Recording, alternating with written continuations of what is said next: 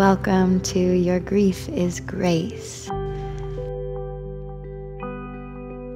This series is designed to support us in navigating both our personal and collective experiences of grief.